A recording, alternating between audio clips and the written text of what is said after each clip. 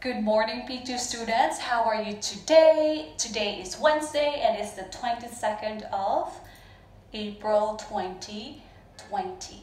So yesterday I showed you about a video about electricity, right? So you knew that um, some things like fuel or like the charcoal can be turned into what? Energy and then it can become electricity.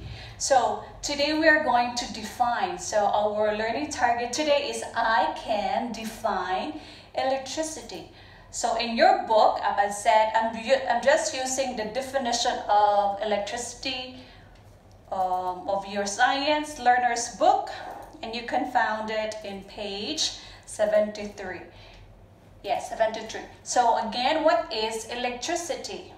So electricity we use it to make things like light, uh, like fluorescent light, um, light bulb, desk lamp, computers, and television work. So we need electricity in order for those things to work, right? So now let's, I have here some words that you are going to or we are going to identify if it needs electricity or not in order for it to work. Okay, let's start. So these are things or objects that needs electricity. So we will put um, a check if that certain object or certain thing needs electricity or does not need electricity. So again, uh, the words here we have book, plastic container, a mobile phones, for mobile, mobile phones, air conditioner or the aircon, a radio, and spoon. Okay, let's start with book. A regular book, just like your science book. Do you think it will need electricity in order for it to work or for you to use it? Do you need to plug it on? No, right? So we are going to put an X for the word book. How about a plastic container or a food container?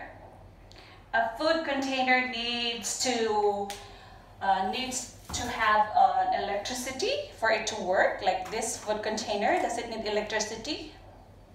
No. So, an X. How about cell phone or mobile phone?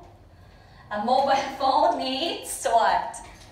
It needs electricity in order for it to work. Once your phone is dead, it means the uh, if the battery is empty, you need to charge it, right? Just like us. Uh, also cell phones like us, like if we're so tired and we eat a lot, but still well, we are tired, we need to charge. How are we going to charge?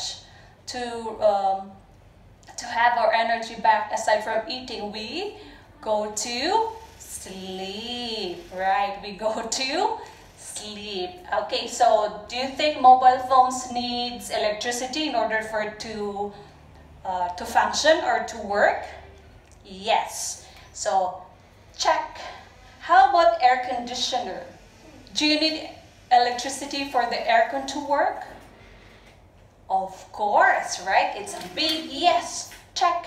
How about a radio? A radio is a thing or a, a material that we use to listen to the music, listen to the news. So do you think it needs electricity? Of course. Check. How about spoon?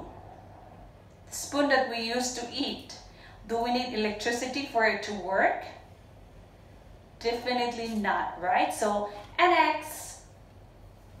Alright, so again, electricity, uh, we use electricity in order for our light bulb, our lampshade, our phones and TV, computers to work. Okay, so today I'm going to show you another video about electricity for more uh, clarification and explanation. Okay, thank you very much and have a beautiful Wednesday, everyone. Goodbye.